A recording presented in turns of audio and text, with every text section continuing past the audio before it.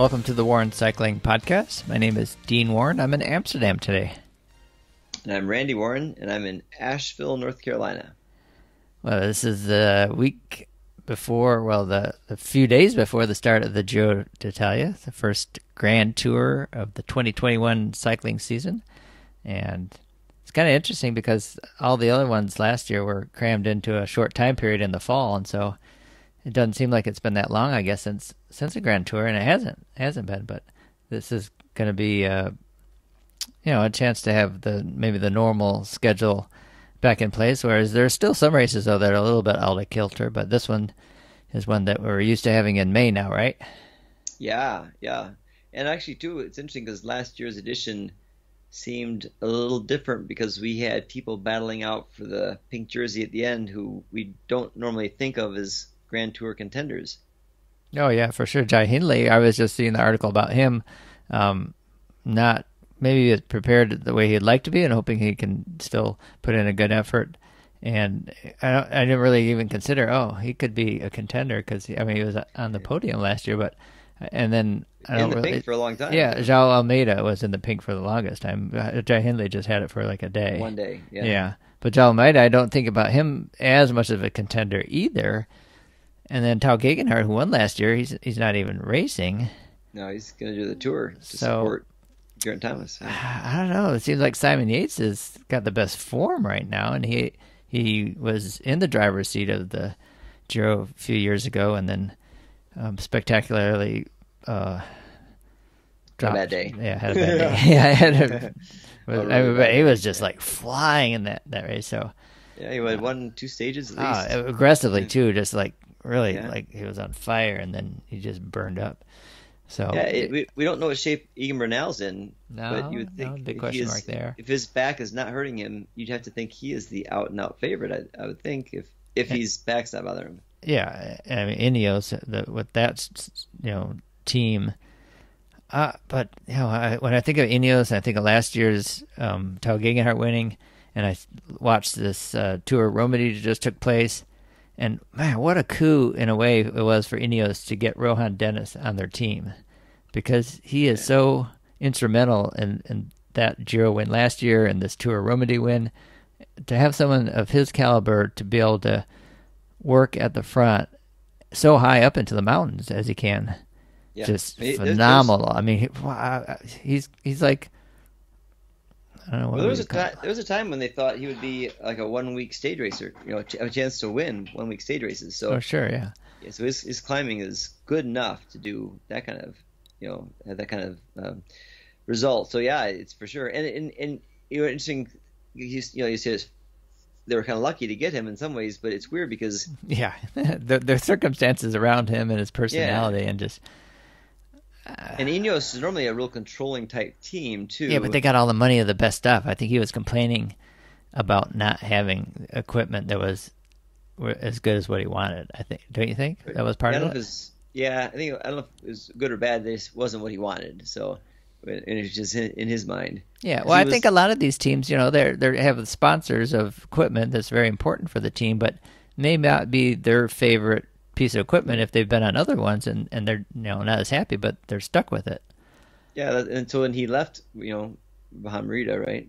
So, yes. So yeah, and then he he rode as you know, for Australia for the time trial where he won.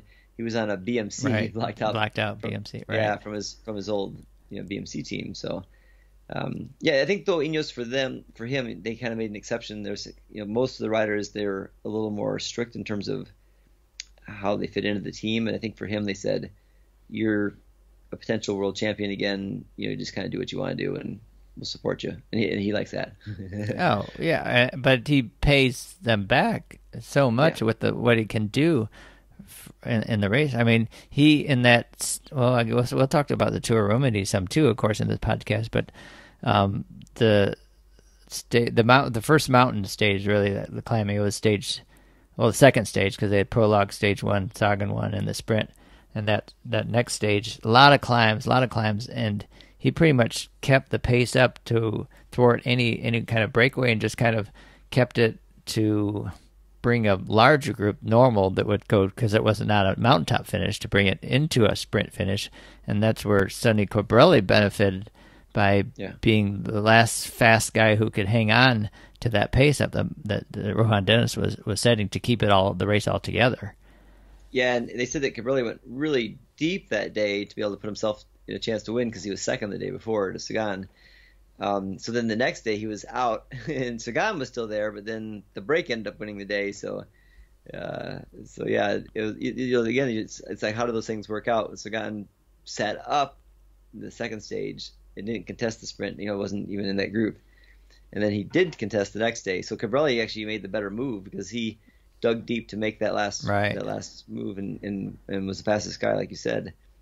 But then the next day paid for it, but it didn't matter anyway because the break went the next day.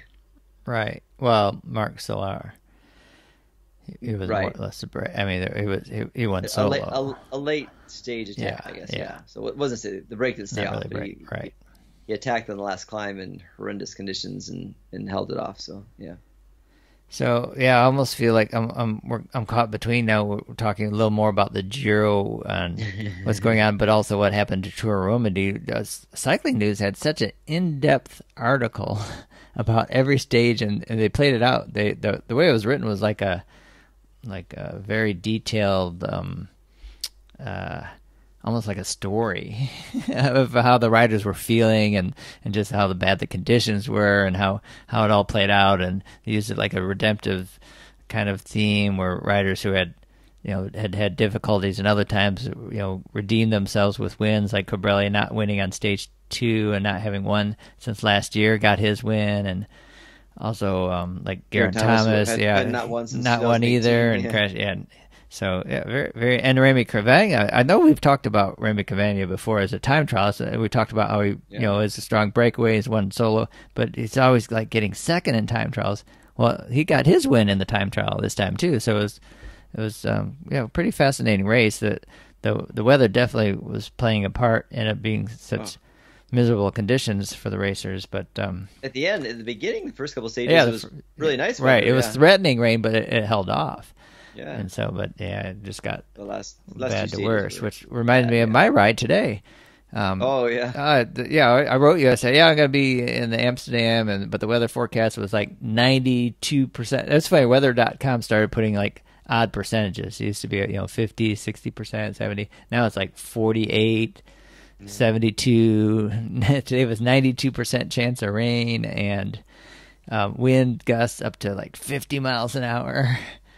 And so, not, you know, but but That's then. I kept 50 miles an hour. That's like that's damaging yeah, winds. For right. Sure. You're not, you're not yeah, I didn't over. feel it could knock you over. And so, yeah, of course, John and I on the ride we talked about the different races where wind has affected riders, like blow, blowing um, Paolini, Luca Paolini from Katusha, then and get level gun him into the ditch, or or um, Andy Schleck getting blown by the wind on his time trial bike and crashing on his hip, and really, really was the, kind of the beginning of the end of his career. That that injury. So. Wind- But I digress. So I'm talking about the the weather here today was um, predicted to be bad, going to rain, and then I saw it had a kind of a window where it was not going to rain. But then I looked later, and then the percentage went up again as we were rolling out. There were a few drops, but it stayed dry for the first hour and seven minutes. I marked it. It was hour seven minutes. So we had nice conditions, and then and then it really it was gusting and came down hard. John was saying, "There's like buckets, like someone's throwing a bucket of water on me." it was right so hard. So we went through, but we we didn't have the miserable conditions of having to go for hours on end in the rain. It, and and I was saying too, well, once the rain stops, um, with this wind, it's just going to blow us like we're in a big blow dryer. So yeah, yeah. But, uh, here, here we had a lot of rain and wind and lightning and and possible hail and stuff too. So I chose to write ride it inside. I was planning to write it outside, and I bumped that to tomorrow morning because yeah, it, it it it came through today for sure. Yeah, yeah. I was leaving Atlanta yesterday, and there was a lot of storm activity. I, I saw, unfortunately, tragically, someone um, lost their life with a, a telephone pole or something getting knocked down on, Oh, on wow. his car or something. Yeah, so it was yeah bad bad weather in the southeast, which which can happen in the springtime and even through summer with thunderstorms that build up during the hot time of the year. So, so anyways, uh, going back and forth between Tour Romandie and and uh, uh, the Giro, Um, it is the uh, 4th of May, so tomorrow is Cinco de Mayo, and it's episode 249 of the Warren Cycling Podcast. Today's May the 4th be with, with you. May the 4th be with you, yeah. And and next week, I'm thinking, wow, the, probably the best day to do the podcast would be um, on my schedule on your birthday to have 250th on your birthday. So I don't know what your birthday schedule is, but we'll we'll work that out later. That's coming up next week. you're celebrate your birthday. Um, but the the Giro starting this uh, Saturday on the 8th of May, so just coming up, and we're looking at the rosters, talk about who we can see as the top contenders, but there's a lot of question marks. Like we're saying, Egan Bernal is is back. We're not sure about that. Um, Rohan Dennis is not there to support him, so he he isn't going to do what he did last year. But they've got um, Jonathan Castroviejo, Filippo Ganna, which is another story too. He was just flying it from the last year, winning the world championship in time trial, winning every time trial. Hey, well, and like thought he was like going to be Yeah. unbeaten, and now he's been um, beaten several times. So I'm not sure exactly uh, what what his form is, but but we'll, I guess we'll find out in the Giro. Yeah, he was, you know, eighth or ninth, I think, both in the prologue or the first time trial and then the, the last one, too. So super strong still, no question about it, but just not dominating. And yeah, it'll be interesting to see because last year he won both the time trial and a road, a mountain road stage in the in the Giro. So, and it, he's uh, he's that kind of Rohan Dennis. You know, you think we talked about it before, right? With if Rohan Dennis and Filippo Ganna rode a two man time trial, it'd be pretty hard to beat by any other t- two man squad too, because they're both that Yeah, kind of big, huge motor yeah. who can also climb. They could probably meet three or four man squads the way they ride. But um, But yeah, G- G- I was gonna say, GCN did that thing where it took five guys to beat one guy. So, yeah. Looking down the, the rest of the teams, are um, you know, a few teams won't have an overall contender like AG2R Citroen. They have Tony Gallopin going out for stage wins, and hopefully Larry Warbasse will get Larry Warbasse will get out and um, He- get a chance, He's, you know, in a break. definitely stage hunting. Yeah. Yeah. Yeah, he he had an article I think right about him. Say, Yeah. I think I read something he said where he was picked out a number of stages, which he thinks he might be able to get into a break and then have a chance to get a win there. So he's he's really yeah he's he's feeling good, riding really strongly, and he thinks this might be a Grand Tour that he might be able to pick up a stage win. Yeah, he came in hot. I think he said last year, and so as it, as it went on, he was um, a little overcooked. So he's trying to come in maybe a little undercooked this time and build up, keep a strong form throughout the whole three weeks of the race. Uh, Alpes and uh, Phoenix, uh, they have Tim Merlier perhaps to go for a sprint win, but they'll be stage hunting as well as Androni, um, Giocattoli, Sidermec. Um, I don't I don't think they have a win yet, do they? So no, not that I know of. Uh, Simon, Simon Pellaud, he's been active um, recent races, riding well. So, but Astana Premier Tech now they have Alexander Vlasov, who I didn't realize he got third in the Vuelta, didn't he last year? Yeah, I have to look that up. But he's a strong climber. I mean, at, at the beginning of the year, he was up there climbing as well as like Nairo Quintana, it seemed.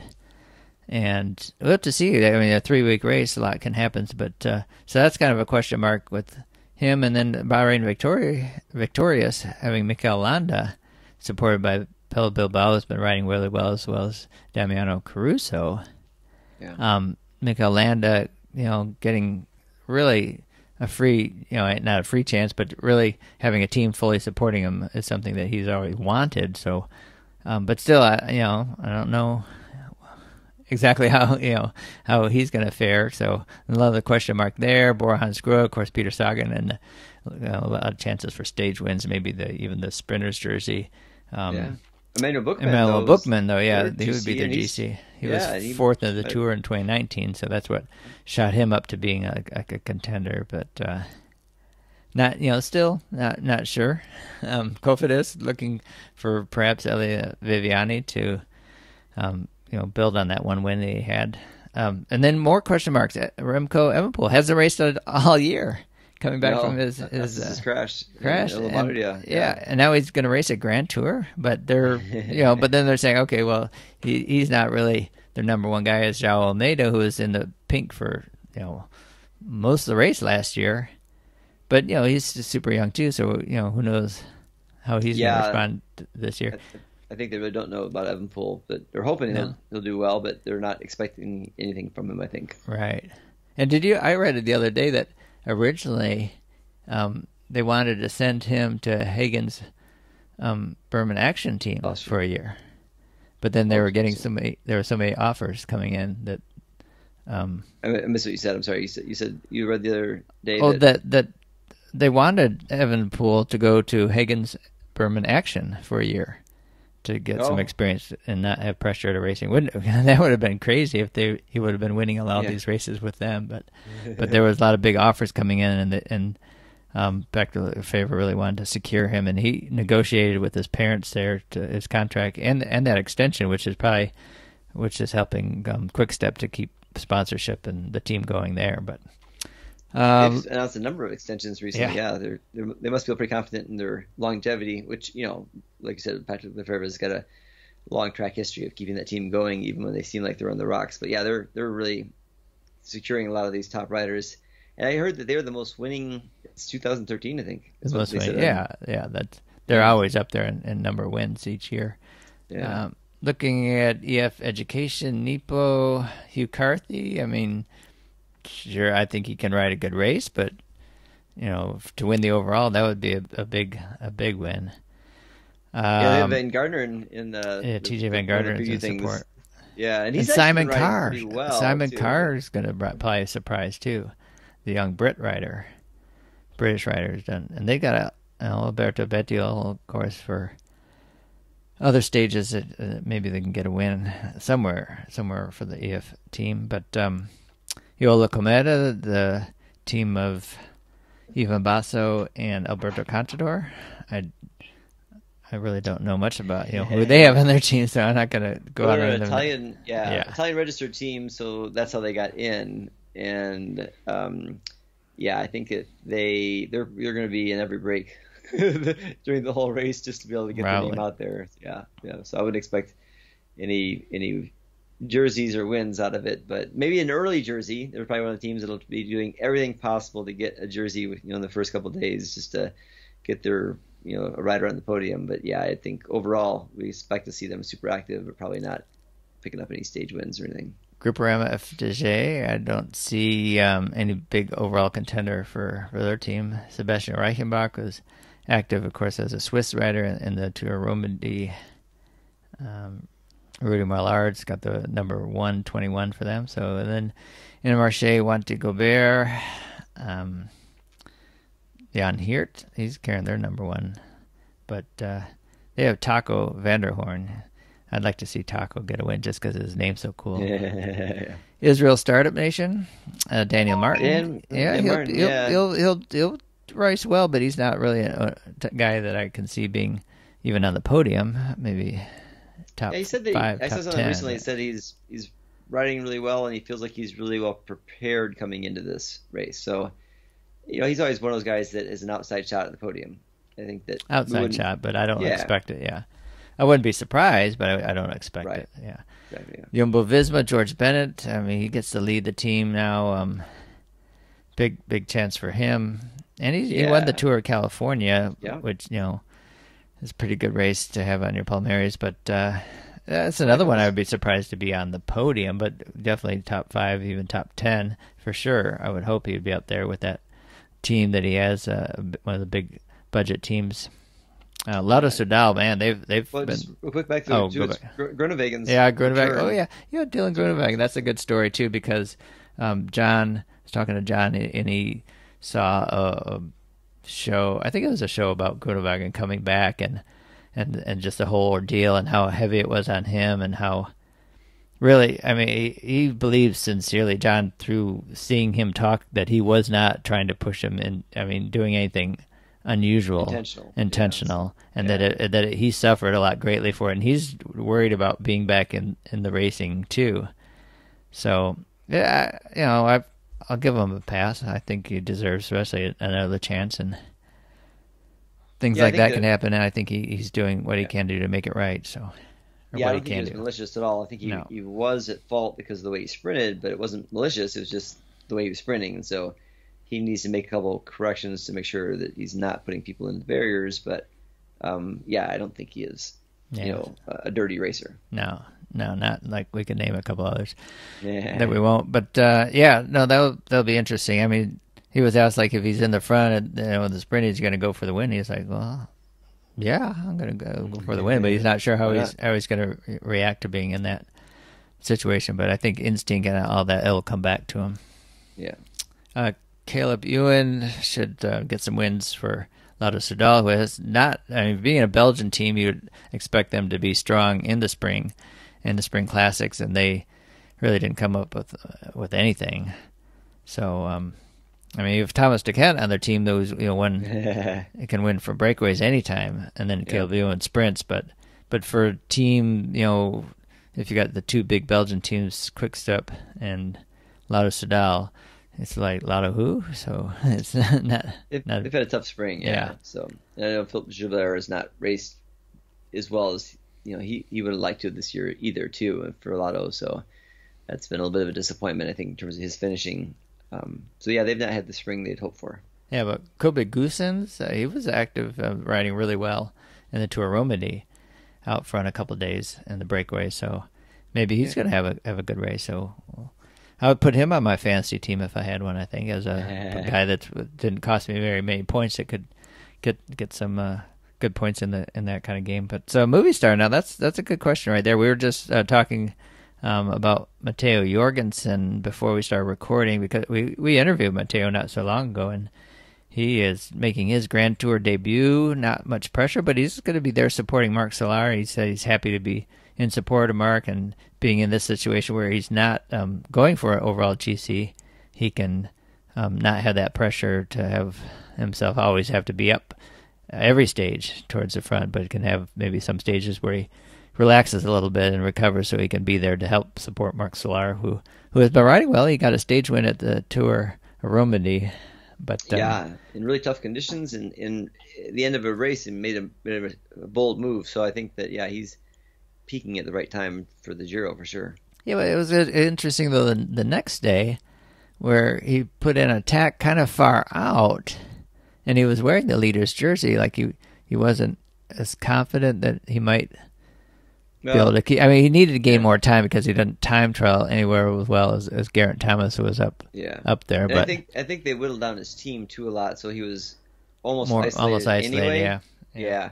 And so I figured if he he think if he attacked, then he might whittle down um, Ineos because they still had a lot of riders there. Yeah, I think so they had four like, riders. I think still. Yeah. Yeah, so I think it was a move where he was hoping to be one on one with one of the uh, Ineos riders rather than having to you know to work against so many people. It just would have been you know just so just trying to make it you know more even odds. Yeah, yeah, it didn't work out well for him even to stay on on the podium because of his his time trying and strong guys yeah. behind him. But so I mean, this is they have you know more time trials in this Giro, so maybe not suiting him as well. But uh, that's a question mark about him too. I, that's like like I said, there's a lot of question marks about the rider. I mean, looking at, at Simon Yates, who won the Tour Alps and looks super good. So you almost I almost think right now that he would, to me, for me to think about the top guy that's in best form and best chance to win, I would have to put him right at the top of my list, uh, coming in, you know, to the race with what we've seen so far. Yeah, he's yeah definitely showing he's in good shape, and even before his win too, he he was riding really strongly too in Tour of the Basque Country. So I think he's he's shown that he's got consistently good form coming into this race, and and I, I didn't read the whole article, but I saw where they're saying he's much more mature now. He's had more experience. He knows how to handle the pressure of being a leader in, a, in a Grand Tour. So yeah, and he yeah, did win the the Vuelta a España, so he has won a Grand Tour before. Yes, it wasn't yeah. just him faltering in that that um, Giro a few years ago. So uh, and then that take, brings us to the Jai Hindley um, question with Team DSM. Were will he be able to repeat or do close what he did last year? Which I'd be surprised because there's so many other top riders, but maybe not. I, I don't know. I mean, well, they also have Bardet on the team. Yeah, too, Romain Bardet, right? He's been riding, riding really well Tour too. de France so. podium racer. Yeah. yeah. so that that'll be interesting. Um, he has good support, and Chris Hamilton, he's he's a strong rider too. Um, another Australian for Team DSM. Um, Team Qhubeka Assos, as we go round out the rest of them, Dominique Domenico Pozzovivo seems to always be up there, but he's a yeah. guy I would see maybe maybe getting in the top ten, but not not much. Yeah, higher. you see him on, on the mountain stages. You expect him to be a, a big player, but yeah, he's I mean, he's you know got to be like what five two or something like that. He's pretty he's one of the shortest guys in the in the peloton for sure, and, and so not going to be as good of a time trialer. And and but yeah, he's someone who's active for sure. I guess think they're probably hoping that Nizzolo can get uh, a couple wins, wins, and, yeah, yeah, and sprints too. So they're you know they they're and they're, they're without I think they're without a World Tour win so far, aren't they this year, or maybe just a one? They have. I can't recall any right now. No, yeah, they have Victor Campenaerts for the for the um, time trial too. Yeah, so he's, yeah. he was really strong in the in the against the clock. Um, Trek Segafredo, we mentioned Vincenzo Nibali coming into the race with a broken wrist, yeah. wrist, so he's always going to be a question mark. Someone that will could ride strongly, but you know they have Ciccone, Giulio Ciccone, and yeah. Bauke too. So yeah. three strong overall riders, but question mark, question mark, question mark. yeah, yeah, yeah. Just like we were talking about again before we were on the air about Lester and Lombardia. They all three of those guys were in the six-person break, and they finished fourth, fifth, and sixth at yeah. the end of the race too. So I can see definitely this being one of those kind of situations where they have guys up in the top ten, but uh, do they have somebody that can get on the podium? Uh, maybe, but you know, would not be surprised if they don't either. Right, right but somebody's going to have to be on the podium. I, I just, yes. I don't know. I mean, I, I would say Simon Yates, you know, as a lock of, of anyone of a podium spot, if not winning. But after that, I think there's so many question marks. And then yeah. Team UAE Emirates, uh, they were going to send Brandon McNulty back to improve on his 15th overall finish last year, which was the best American Grand Tour debut finish since like the early 2000s. But he rode so well at the um, yeah. Tour of the Basque and the spring that looks like he's going to head to the Tour de France and be in support of Tadej Pogacar, which in a way was really great because it would be like Matteo Jorgensen, another young American rider who won't have the pressure of being a GC rider, where every day you're going to have to be attentive and, and waste a lot of mental energy and that to stay up front, where he'll be able to um, have days off, so to say, so to speak, and then learn a lot and support um, Tadej Pogacar in his defense, which he's going to need extra firepower um, this year as he'll have more of a target on his back for sure. Yeah, they'll expect you know UAE Emirates to do more work than they did last year. Last year they kind of hid in the shadows and weren't expected to control the field much at all because you know Jumbo Visma was kind of dominating the race up to the very end. But this year, definitely they're going to look to them to be a team that exerts authority on the front of the race too. And so McNulty's going to be somebody who they're going to count on to do that oh, some days. Yeah, he's just great time. He's time trials too. He's more like a Rohan Dennis in a way, where he can time trial really well and climbs well because of his ability to. Pure, yeah, yeah, it's just suffer. Like, yeah. yeah. he's just really strong. Yeah. So, um, UAE though, the sending Davide Formolo, who he's won a stage at the at the um, Giro before, and he was racing really well at Liège Bastogne Liège. So be interesting yeah. to see how he does in three weeks. And Joe Dombrowski, who some years ago was in a lot of breaks in the high mountains, and you thought, well, hey, he's going to get a stage win one of these times, and he never did. So it'd be really cool if he would be uh, turn back the years to the, those days and have a chance for for an overall place. But if he's supporting David Formolo, maybe he won't, won't get that chance. Yeah, Joe Dombrowski's racing pretty well too, so he might you know, maybe one situations where he goes ahead in a break on a mountain stage, and then if he's not needed to come back to support Formolo, then he can go for a win himself. So I think that might happen. But they also have uh, Dario Ulissi too, which is you know he, Diego Ulissi. Yeah. Diego, sorry, Diego Ulissi. He's um, I think he's actually won a couple stages of the yeah. Giro in the past too. I so. think I've got a picture of him winning a stage one year when I went near Venice and saw a stage finish. Yeah, and then they have Gaviria, who's Eric Gaviria, yeah, to not be sprinting very well this year, but but he's got a great lead out man, one of the best. And Richeze, Maximiliano Richeze. So, yeah, let's see, let's see if he comes into form yet or not. He might, he's the kind of guy that could be coming into form and, and catch a fire and do really well, or just keep being back half of the top 10. So let's see. Yeah, yeah. So a lot of question marks, a lot, a lot of question marks, but uh, it's going to be a fantastic race for sure, as the Giro usually is. And then we've got circled on the calendar the the Strade Bianche stage, the White Road stage, which I was I was thinking about. Like, okay, of these contenders, of the people we see for the overall, who do you think would fare well on that kind of stage, where you could possibly lose a race? You're not going to win it. It's one of those stages where you could um, not do well though, and, and really dig a hole for yourself for the overall. And then I was trying to think, well, which of these contenders did Strade Bianche this year and, and does well on that kind of um, terrain?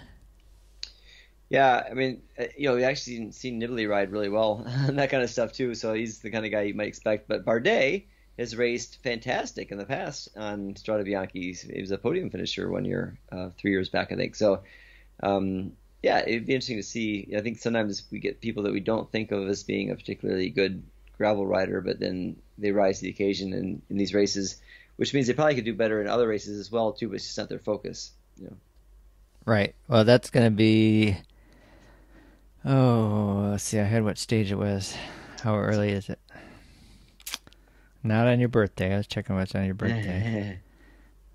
I remember it was. I, I, posted a picture on my Facebook page the other day yeah. in 2010 that I was there to watch the Giro stage where Cadel Evans won. Is the Strade Bianche stage? Ah, here it is. It's uh, stage 11, Wednesday, May 19th. Perugia to Montalcino. I think that's it. All right.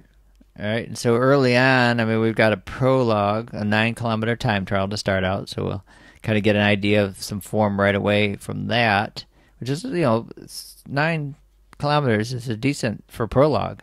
I mean, it's almost like, what, 10 is the kind of cutoff where you start calling it a time trial instead of a prologue? Or I, I want to say it's less than that. It's eight point. I want to say it's eight point something. It, is, says oh, yeah. ITT, not prologue. So yeah, be, so, yeah. So you're right at the edge of just becoming a, t- yeah. a time trial. Yeah.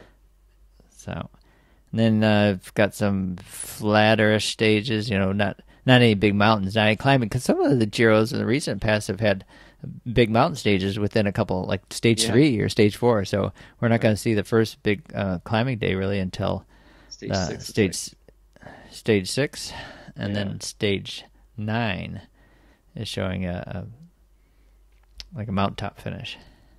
Uh, okay, because stage nine is not a particularly mountain stage, I don't think, but it might have a finish of it. It does. Uh, it has an uphill finish, so uh, that usually always causes some separation, especially yeah. for the overall when you finish uphill. Because anything other than an uphill finish, you can, you know, if you can stay in a group, it's hard to, hard to get away, but not always necessarily like we see saw like in um, even in Romandie or the Tour Basque country. Yeah, I think that there there's there's not a ton of sprint stages. Looks like you know two, five, 13, and 21. So you know a few scattered throughout the race. So having stage 13 and 21 you know, tries to keep the sprinters around for a little bit longer maybe than than what they would otherwise. But most of the mountain stages are going to be packed into the last week, which is very typical of the Giro as well too and then looks like mostly flatter uh, intermediate stages in the first week and a half yeah, or so. But but the Thursday, May thirteenth does show an uphill finish as well, and that's, that's stage six. Yeah. It gets yeah. a mountain designation, yeah. Yeah. So I think I was when you talk about the sprint stages, not so many and not any really in the last week. I was reading about Tim Merlier for, for uh, Alpecin-Fenix, who might possibly leave the Giro after the, you know, the most of the sprint stages, so he can recover in time to race at the tour as well, since they're you know yeah, Alpes so, and Phoenix they don't have as big a team, not being a world tour team, and and doing the chance to race in the tour and have um, Mathieu van der Poel racing there. They'll want to have their best of the best for their team then. Yeah, Merlier's definitely had a really good season too. So he's he's you know going to want to show himself if he can in the Giro, but then right prepare for the Tour. So the question is, will he stay around till stage 13 um, or not? Because Otherwise, there's just two chances. Said he probably would stage to 13. Yeah, is what I read. yeah, it, it, makes sense. Yeah, because after that, it's a lot of mountain stages. Yeah, and so and then and then the final stage is flatter, but 21, but it's a time trial, so it's it's not like he gets a chance to win at the end. You know, maybe stage 18 might have a, a finish he could be there for, but yeah, might, there might not be any sprint stages until you know after 13. So. So the the time trials are the first and the last, then, right? Yeah, yep, and it's uh, the last one's a 30.3k, so it's it's a pretty long time trial too. Um, you know, we don't have like it used to. It used to be back in the day, they have like you know hour and a half, hour and fifty minute time trials and some way back in the day. I, I mean, I don't, I don't know what our exact our age of our listeners are, but I should probably suspect more of them are do remember those days if they're following cycling then. But yeah, it's it's been a long time since they had those hugely long time trials. Yeah, so now you get a 30k one and, and, it's considered a long one, but back back then it would be you know oh that's just a really short one. But yeah, that's a significant one at the end. I mean, definitely it's you know it could make a big difference. I mean, in the 89 tour, you know there was a very short time trial that made the difference between LeMond and Fignon winning, so it can be a short one making a big difference. But a 30k one, you know, you could have people losing you know a minute or more if you're in the GC hunt. So um, it, it leaves some drama for sure if the race is tight at all towards the end. Yeah, for sure. And, and who do you think of those that we mentioned uh, for the overall, besides Simon Yates, would would make up time and be strong in that final time trial? Uh, you know, I mean, Bernal certainly would have the chance to do it. So he's he's a he's a pretty decent time trialist. So um, if if he's yeah, very in good. the area, yeah. yeah. So you know, what about someone like Mikel Landa or Alexander Vlasov? I don't know about their time trialing skills. They're not the best for sure. No. Yeah, Bardet's not all that great either. No. Um, used to be, so yeah. Who knows? If, you know, if he's he's the kind of guy that can win a time trial still. I think if or you know not losing time if he was potentially right. in the pink. You know, but otherwise he's not going to do so well. João um, Almeida, very good time trialist. He's a good time trialist. Yeah, yeah. And Remco yeah. Evenepoel. Very, very good. Very good. Yeah. So, yeah. boy, if somehow those guys can make it to that last one, you could see see them doing really well and pulling out a, a big win. Yeah, yeah. Have to see. It's it's a uh, yeah, it, a, lot, a lot will develop. And like I said, last year it ended up people battling out for the pink. We're not people we no expected to. Yeah. So, you know, you just don't know how the race is going to develop. And that, and that does happen sometimes. You know, like you know, I'd say looking at the list of, of winners over the last ten years, Ryder Hesjedal, I don't think was going in as a favorite no. in 2012. Um, Carapaz probably wasn't a favorite no. in 2019. He just kind of basically, you know, just stayed there and yeah. thereabouts. Yeah, got in it, and then him. yeah, yeah. And then you know Tao Geoghegan obviously last year too. We didn't think was and know, Jai, Jai Hindley was second. So yeah. yeah. yeah. So you know we don't have you know so I mean, uh, uh, the big names like you know Froome or Dumoulin or Nibali or Contador or Quintana. Before that, you know those, those are the ones you expect to be there. Even Scar- Scarponi, you know, in the 2011.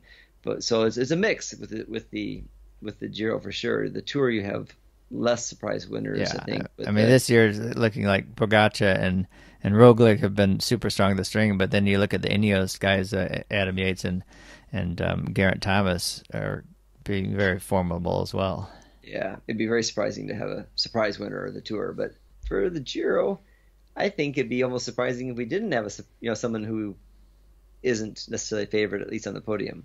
Yeah, well, that's going to make it you know very exciting. And not you know, it's always what has made these races not exciting. The the Grand Tours has been the Ineos Grenadiers train yeah. at the front, just drilling the pace so no one can attack or do anything, and they control the whole race. And that, to me, for me, has not been very very um, exciting to watch.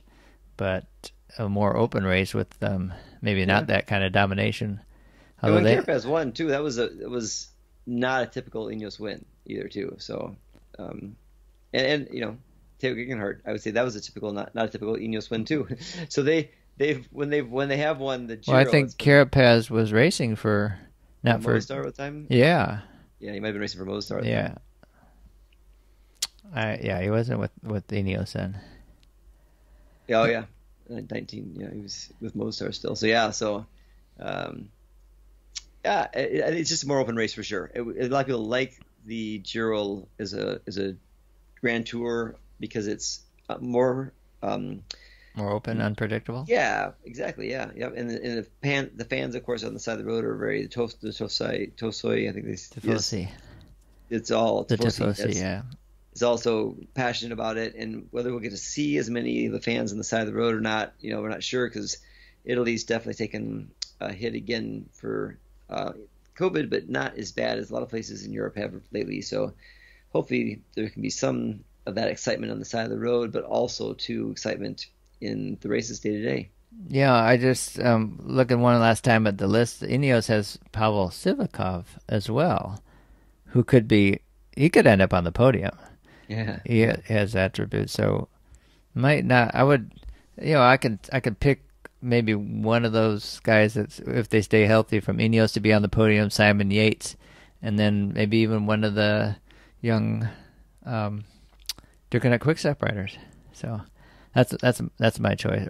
I don't know if Marc Soler or Mikel Landa could be up there. Those would be my other the other two. So if I picked top five, I would say Solar, Landa, um, one of the Ineos, um, Bernal or Sivakov kind of guys, or Joao Almeida, Evenepoel, and then Simon Yates. That's I'm gonna stick my neck out right away and say that. Yeah, yeah. I, I wouldn't be surprised. I, I think uh, Bardet has been riding really well.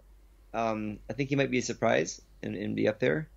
Um, so it'll be interesting. And then maybe even like uh, Buchmann for Bora Hansgrohe. It seems like he yeah. stays around the top a lot, and so could be in that top five as or well. Bauke or Ciccone. What about them or Nibali? Any of the from that Trek Segafredo trio?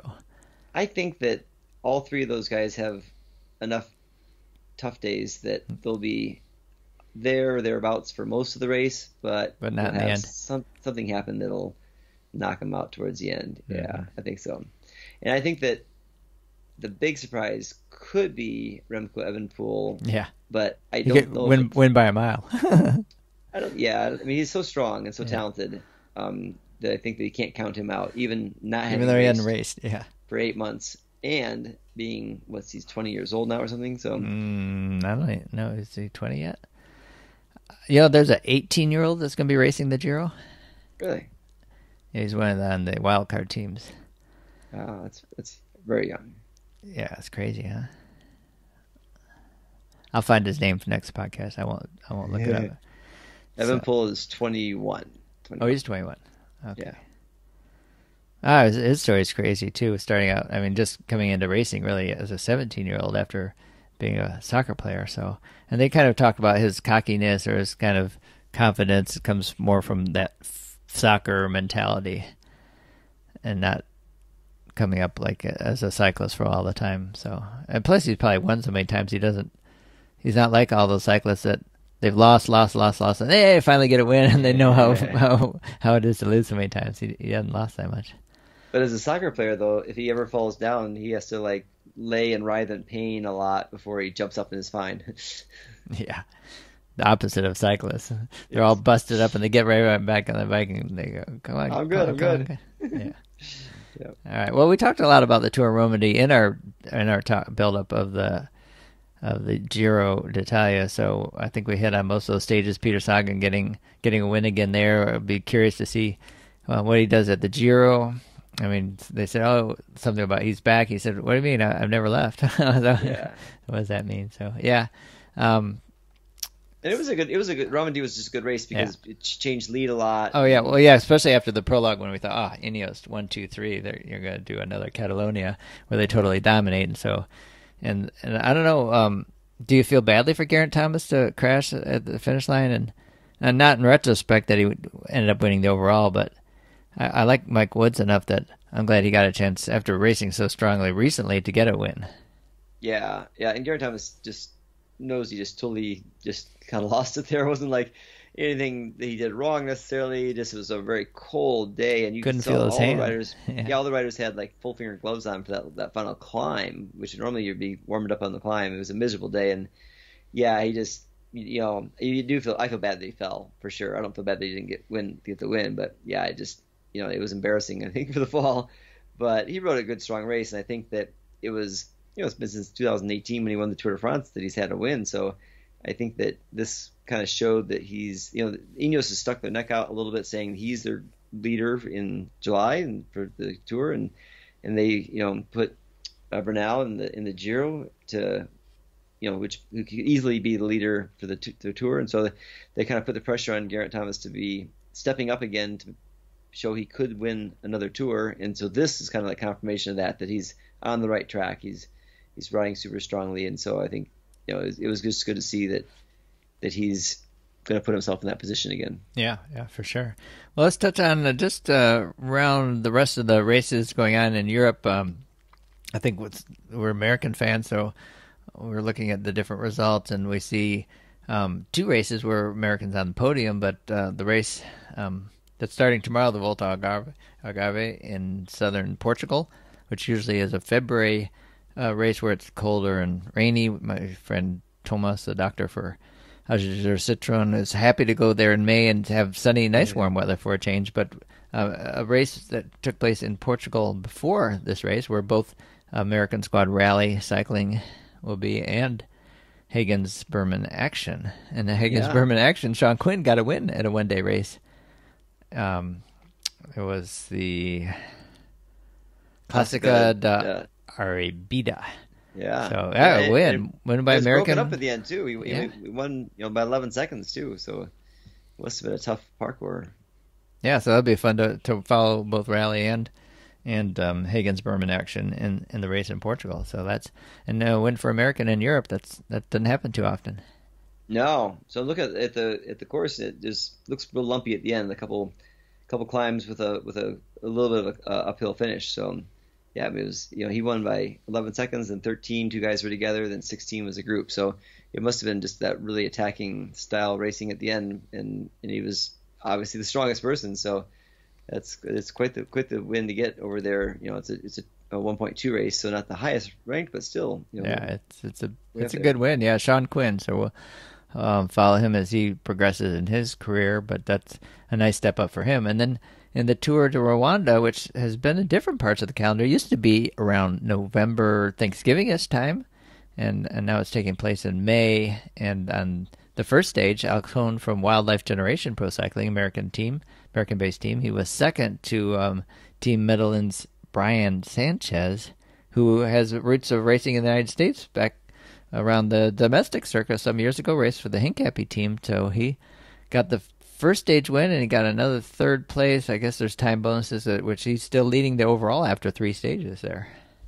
Yeah, and I, I, I keep seeing more and more about the Rwanda. Apparently, they are bidding for a UCI World Championship Right, for right. road racing. So, so they're trying to show that they're have the capability of putting on that bigger kind of race. And I guess there's never been any video that's come out of, of the Tour of Rwanda, but this year they do have some highlights that are being shown, and they you know Oh, some they of get that fans that line the road. I'm sure they're not social Yeah. distancing or anywhere. You probably have more fans watching that race now than any race has been attended by fans in the last year. Yeah, Pierre Rolland is there, and I guess he was showing some when he was out just riding, you know, not in the race, but just riding. He filmed the fans running next to him, these kids and stuff too, just you know on the side of the uh-huh. road, lining the road and trying to run alongside him. And so I, yeah, I it's just- saw another video of this young guy riding one of those sturdy bikes for transportation and keeping up with these guys on the fast race bike and yeah so no it's it's got to be quite an experience and an exciting time and israel startup nation has some riders there they're, they're there as well as james Piccoli who also raced in the us got uh, third place in the third stage Yeah, yep, yeah. And there's a, a few a few you know bigger teams like B and B Hotels is there too, and Androni. yeah uh, they got the last two uh, stage two and three both won by alan Boileau. Yeah, so it's a mix for sure. And then the wildlife generation, um, you know, I, I, Johnny Clark's not over there. He was racing with me this weekend while racing the same race. He was doing the one two pro race, but I was doing the masters. But um, wildlife is continuing to be present all over the world, which you know, you- again, give credit to Denny Van Hout for finding a way to get his team doing all those different races all over the world. Yeah, for sure. And oh, you know, going back to the race in Portugal, it was interesting to see the rally squad is uh, all Americans racing in that race. Oh, the whole wow. lineup of U.S. riders. So, rally does have a couple uh, uh, Canadians, but they also picked up the uh, Dutch rider who won the first stage of the Tour of Turkey. Yeah, yeah. And they actually too had a couple French riders they were riding on. Um, Yeah, when they couldn't get short- everybody over, yeah. exactly, short-term contracts Right. too. So again, they're doing what it takes to do as well too. But they've got a base over there in in I think In Spain, Girona, right? yeah. Girona, yeah. So yeah, yep. And I think you know they'd had an express goal of getting a World Tour license at some point in time too. So um, and they've got a couple former World Tour racers now on the team.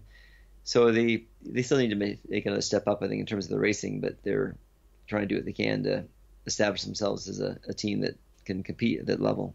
Sure, sure. Well, the, we had a women's. Um, it was called the Cycling Festival. Elsy Jacobs Um, Lorena Wiebes, she took the overall win for Team DSM with Leah Kirchmann. Um, second on the podium for the overall. Uh, they were both in the in the prologue. That was their placings there, so they held on to that. Um, but there was a race that was took place in in the Netherlands, I guess. Yeah, but Emma Norsgaard, I'm sorry, Emma Norsgaard ended up winning the overall. Not Lorena Wiebes won the prologue. It was Emma Norsgaard from Movistar and the Leah Kirchmann then finishing second, second overall. Yeah, and Ruth Winder was seventh in that race too. That was a lot. She had, Ruth Winder had a really good prologue too, so I think that helped her out for sure there. Yeah, and the shifting, the racing now in Spain, they're going to start uh, the Séntama Classic race. It usually is earlier in the year. Setmana Ciclista Diana Vuelta Comunidad Valenciana. That's um, taking place this week, and they've got some more racing in Spain going on the rest of this month. Yeah, around the world, there's been a number of races that have shifted, you know, from those early season ones to the summertime. So we're going to see some of the normal schedule plus some races that we would normally have seen earlier in the year this year because COVID's still out there and affecting a lot of things. We're hoping that there's not many more cancellations or alterations in courses from this point on, but there are definitely hot spots still that are having to do lockdowns and affect the racing. But they've proven that most of the time they can hold these races pretty safely. For sure. And then uh, the other note I have here to talk a little bit about Nairo Quintana winning the Vuelta Asturias uh, race. So he's racing well again. He raced well last year, racing for Team Arkea Samsic, and his focus will be then in the the Tour de France later this summer. He's going to do the Dauphiné and then the Tour. But um, yeah, he won the Vuelta Asturias race, and Pierre Latour, who races for Team Total Direct Energy, now got a stage win is there on stage three. Yeah, yeah. Quintana last year started out just on fire and was racing so well at the beginning of the year, and then having COVID hit really disrupted his ability to be able to take advantage of that form that he hasn't seen for a lot of years. So this year he started out slower for sure, and he's starting to hit his stride a little bit more now. Excuse me, in hopes that he can. Yeah, I think he, he still feels like he could be a, a, a tour a tour podium contender, and uh, you know, I mean, he's he's he's. I, I look and see what how old he is real quick, but I think he's like 31. He's not, yeah, 31, 31 years old. Exactly, yeah. Yeah, so he's he's certainly in that age where he can still do it, and um, yeah, I think that when he wins a race like that, and he and he won not in a mountaintop finish too. He won actually it was a, a, a, a hilltop finish and then a hilltop and then downhill to the finish. He had enough of a lead to be able to hold off the the pack on that first stage, and then held on to his lead because he won by enough that first stage to hold his lead for the whole three days. Yeah, I think he's shows that he he could still do it, and I think a lot of people are, are rooting for him too to to do well because he did well when he was so young, and then hasn't followed up with it quite as much as I think that he people think he could. So yeah, yeah he won some grand tours. He just never won the Tour de France. So that that's really yeah, and really, younger in his career too. So yeah, yeah. So, yeah. All right. And it, it, it is podium on the tour too. So it wasn't yeah. like he's yeah. Yeah, it was finishing behind someone named Chris Froome, who was seemingly unbeatable in those days with his um, Sky team. Then controlling the race. Well, let's, let's look at this birthday list. We kind of have a pretty big birthday list to cover today. Uh, did you have anything else before we wrap up with the birthdays? I don't think so. I was trying to think if I, I have been doing uh, some talks for some groups, and I was trying to think if I'd seen anything special from anybody else, but I don't. I don't think so. All right. There's, you know, like you touched a little bit racing in the U.S., the racing in northern Georgia and um, more races going around around the country. So, but that's going to get bigger as the the USA Crit Series um, starts up, and really in June it really kind of kicks off, where we have the more races that we'll probably talk about then. But um, let's go. Yeah, I, got uh, to, I, got to, ride with your son Taylor yeah. last. Oh yeah, last you got Thursday, to go. So... Yeah, he was doing a training camp. Yeah, I just caught the end of the camp. A lot of the guys were already gone, but um, yeah, did yeah, he have great. his new Ventum bike?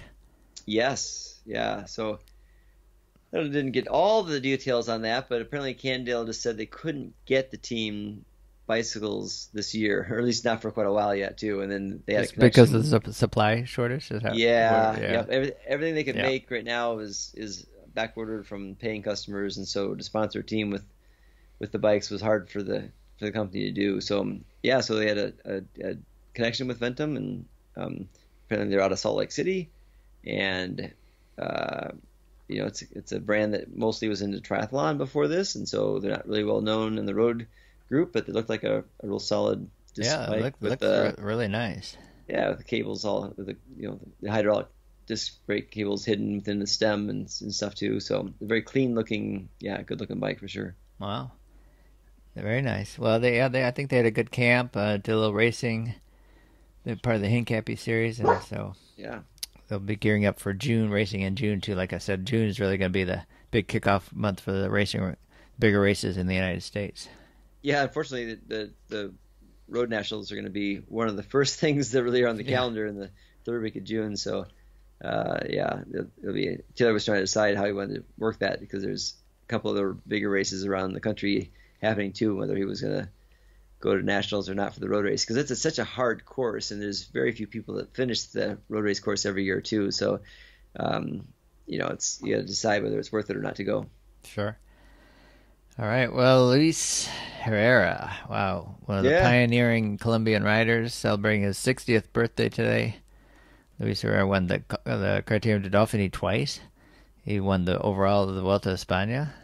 I mean, you would have thought that he would have, you know, been a guy that would have could have won been the first Colombian to win the tour, but uh, he won Yeah. three stages there. Uh, he won three stages at the Giro. He was twice the polka dot holder Yeah. of at the tour. So yeah, he won Alpe d'Huez before. He's won.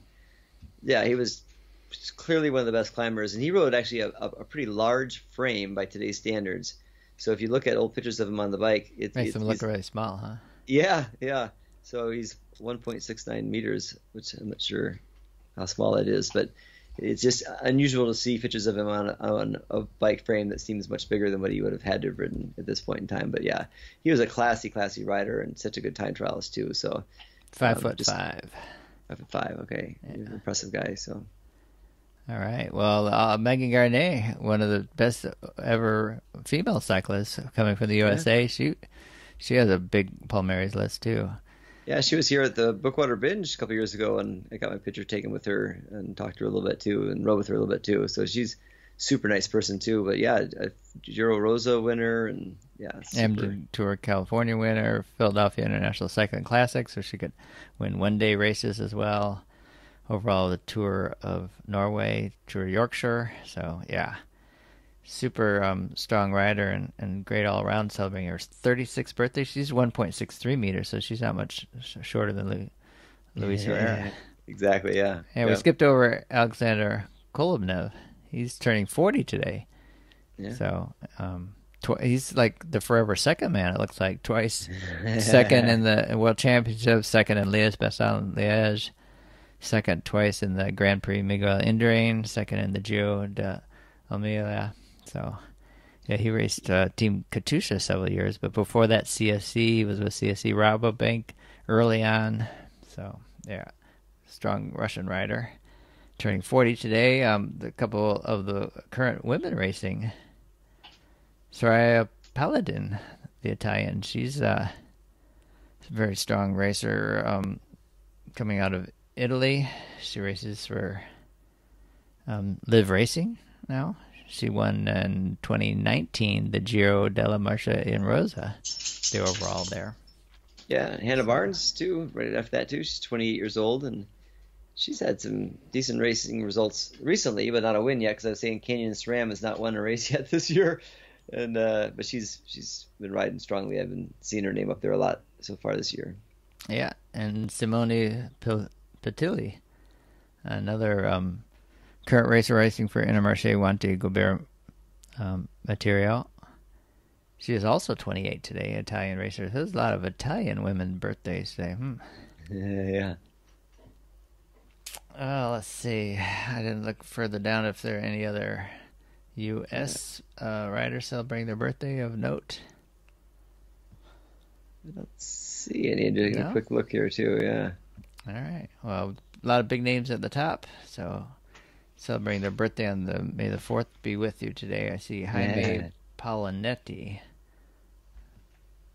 So Jamie Jamie, Jamie. Paolinetti. Oh, Jaime. I give him a, a Spanish name. Jamie, Jamie. Jamie Paolinetti was a really good racer, and he actually was the first pro leader for LA Sheriff. So when I when I first turned elite racer, I considered LA Sheriffs and Bellevante and ended up going with Bellevante. And the next year, uh, LA Sheriffs went pro and they hired Jamie Paolinetti to be the team leader at that point. He was um, in his 30s at that point because he's 57, so he's just two years younger than I am. So he was already, I think, right around 30, 31, or something like that too. So a more experienced rider though, but he was kind of like the leader of LA Sheriffs because he had the most experience on a brand new pro t- team at that point, and so he was very instrumental in early U.S. pro racing. And tell me my computer's not listening to me because on my Pro Cycling Stats website I have an ad in the front for Ventum, performance focused gravel road and triathlon bikes direct to you. Wow. A picture of a guy on a gravel bike. So yeah. All right. Well, Ray, it's um always a pleasure to talk to you about all the cycling, a lot of racing going on, and we're excited about the Giro d'Italia coming up and all the question marks. What, what, you know, it would be probably not till the third week till we get answers to those, but it's going to be a fun, exciting race to follow for sure, and we'll uh, keep up with the, what else is going on. And you know, how many other podcasts talk about the Tour of Rwanda and one day races in Portugal? I don't know, but there's. We're just glad you're listening to us, what we have to say, and what we um, bring. I do, I, bring I do see one more one more birthday we have to mention. Oh, though. yeah? Greta, Greta, Greta, yep, Greta Neimanas, who's Oh, uh, really? a former triple Xer. Yeah. She's 30, 33 years old today. She was a Paralympic World champ. world champion as well as a Olympic medalist. Um, so she's and she raced as a pro racer for 2020. Oh, there she Uh, is, Greta. so yeah. 2016, yeah. So Greta came out of the Triple X Racing Athletico program in Chicago, and uh, retired sadly because she had a, a concussion that she had a really hard time getting over. So, but she was one of the first para athletes who raced on an able-bodied pro team Wow. 2016. So All she right, was Happy birthday, Greta. Yep. Excellent. Yeah, good spotting that. Would not Yeah. want to miss that one. It's also St- St- Stephen Kincaid too. I remember that's a name that sounds familiar too. He's 49. I must have raced against him when he was when he was He was younger. so- 13th in the Saturn Rochester Twilight Criterium in 2007, racing for Rite Aid uh, Pro Cycling, Yeah, Continental Yeah. team. but Greta though, I, I would want I would want wouldn't want to miss uh, No, Greta's. no. Yeah, Happy so- birthday, Greta. So, all right. Well, thanks again, Randy. Um, we'll come back again, maybe on your birthday, maybe not. But if not, if we come after your birthday, we'll make sure we, we wish Randy a happy birthday on May 12th. Thanks, Dean. All right. Thanks, Randy. Bye now. Bye.